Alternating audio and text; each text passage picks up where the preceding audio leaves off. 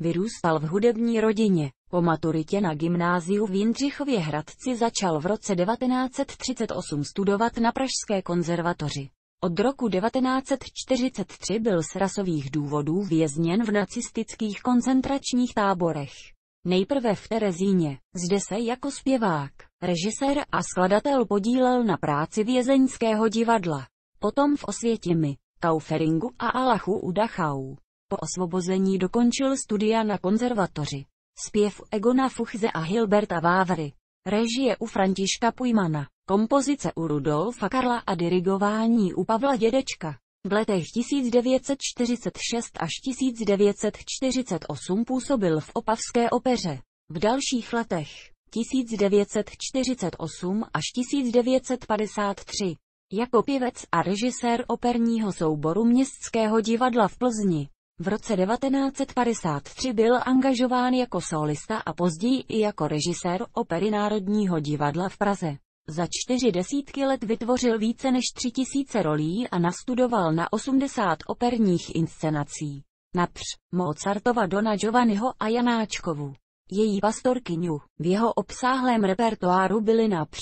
Mozart, Rossini, Weber, Wagner, Verdi, Smetana, Dvořák, Musorgský, Janáček, Stravinský, Martinů. Podobně jako Ladislav Mráz se jako jeden z prvních soustavně věnoval předklasickému repertoáru.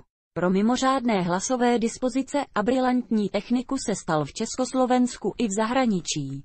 Vyhledávaným interpretem obtížných partů oratorních a kantátových. Vystupoval mi s Pražským komorním orchestrem a souborem Ars Rediviva, s nímž spolupracoval na československé premiéře cyklu Arí z Bachových duchovních kantát, paší a oratórií a na některých dalších projektech.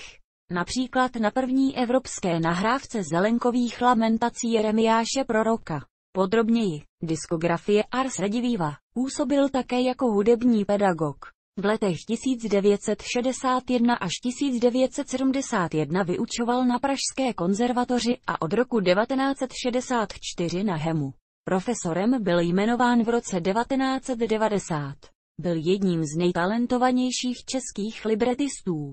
Jako překladatel hudebních textů skvěle uplatňoval nejen své zkušenosti vokalisty, ale i svůj humor a fantazii. Např. Telemanova smuteční óda za umělecky vzdělaného kanárka. Vystupoval pravidelně na zahraničních operních a koncertních scénách. Např. v Berlíně a ve Vídni, kde byl v roce 1995 za přítomnosti rakouského kancléře vyznamenán prestižní medailí Fidelio. V roce 1993 získal za celoživotní mistrovství v oboru operace Nutálie.